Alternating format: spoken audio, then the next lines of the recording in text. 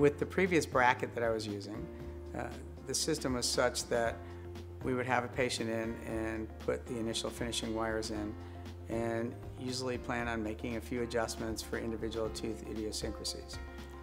Unfortunately, when the patient came back, we would find that we need to make another adjustment due to the amount of play within the bracket. So that lack of control at the end uh, has been a shortcoming for many years now, and I kind of grew to live with it.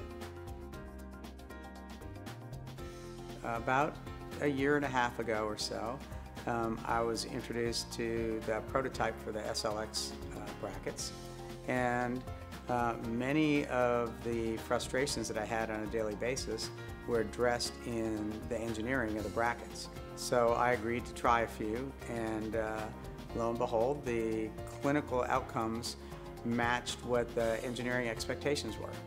And so uh, recently I decided to switch my entire practice over.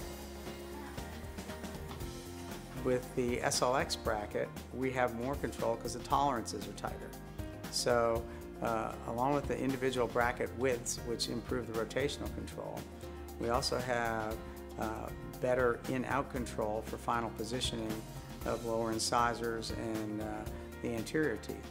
So it's just a smoother finish and I find myself making far fewer adjustments than I've been making over the last several years. And uh, the staff uh, were delighted with the outcomes because it was much easier on them placing wires at perhaps one or two bends as opposed to a half a dozen. These ridiculous bends that they have to put in here is a nuisance. Sometimes those bends can be a little crazy. They can, you know, have to rotate the tooth, do a bunch of torque on the teeth. Um, you could have anywhere from 10 to 15 bends just in one wire. So switching to the SLX brackets for an orthodontic assistant should be a no-brainer. All you do is you simply close a door. Um, the wire stays in there. The doors never come open and there's less emergency appointments, less visits, easier for the patient. So comfort-wise, everything's great. The finishing results with the SLX brackets, when they get to their final appointment, they have maybe three adjustments. Um, we have patients that are finishing that are already in treatment for about 11 months and they're about to get their braces off. So for us and for the patient, they have three long appointments and then they're done.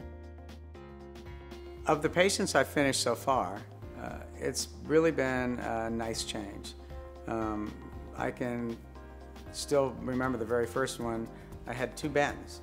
Another patient had two bends in the upper and one in the lower. I mean, that's the sort of thing that just makes everyone happy. You know, I, I look at the bottom line as to how many visits a patient has to come in and whatnot.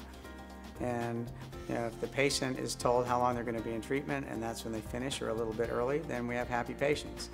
And you know, the old saying is, you know, a happy wife is a happy life. Well, the parallel is that happy patients is a happy practice.